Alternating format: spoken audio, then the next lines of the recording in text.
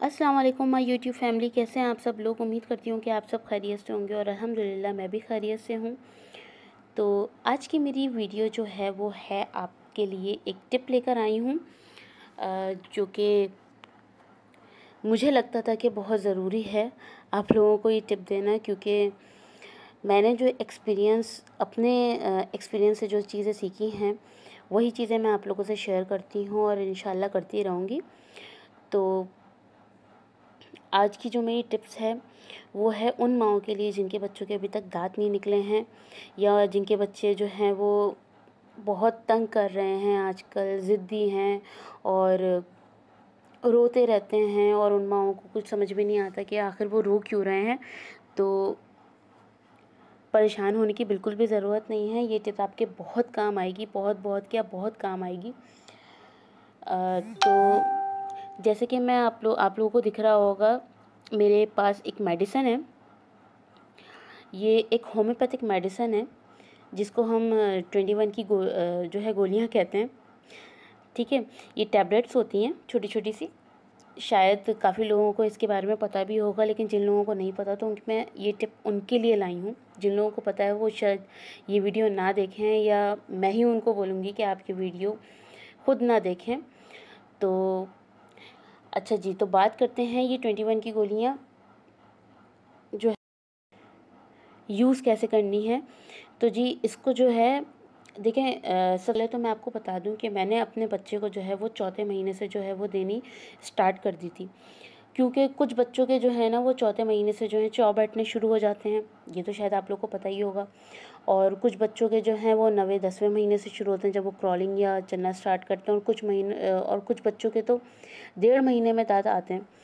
तो भाई, मेरे एक्सपीरियंस के मुताबिक जो मेरे बच्चे ने दांत निकाले, वो नौ दस महीने में निकाले जब वो क्रॉलिंग करना स्टार्ट कर दिया। था और मेरी भतीजी ने जो है, वो तकरीबन एक साल में निकाले हैं दांत। तो यही तीन जो है ना, वो मुकर वक्त होते हैं कि जिस वक्त बच्चों के दांत आने शुरू हो जाते हैं। तो मेरा तो यही मानना है कि आप चौथे महीने से ही आप मेडिसिन देना स्टार्ट कर दें। ठीक है? तो इसके कोई साइड इफ़ेक्ट्स नहीं है। इसके कोई जो है, आपको इससे कोई प्रॉब्लम नहीं होगी, बच्चों को इससे कोई प्रॉब्लम नहीं होगी। आप इसको ईज़िली दे सकते हैं।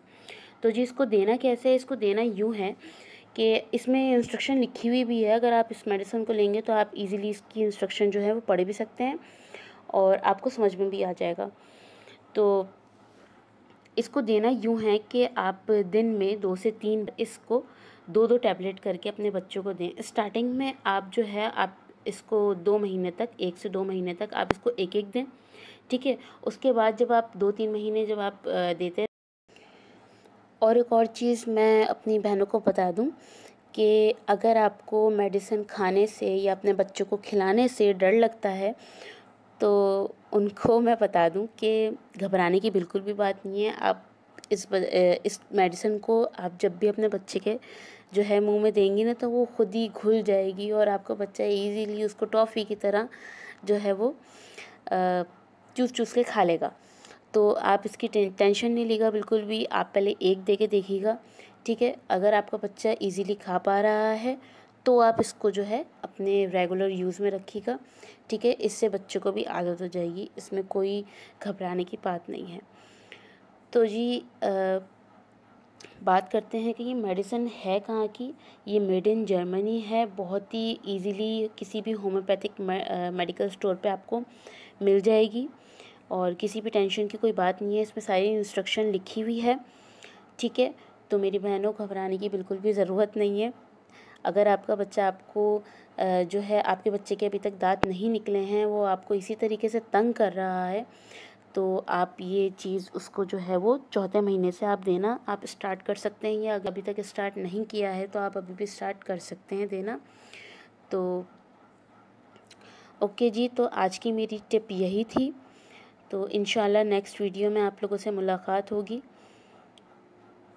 ओके, जब मेरे चैनल को सब्सक्राइब करना बिल्कुल भी मत भूलिएगा और अगर वीडियो आपको पसंद आई हो तो प्लीज़ प्लीज़ प्लीज़ लाइक करना बिल्कुल भी मत भूलिएगा, ठीक है? और अगर ये टिप आपको जो है किसी को शेयर करनी हो तो प्लीज़ शेयर भी कीजिए, और ओके, देन अल्लाह हाफिज़, टेक केयर।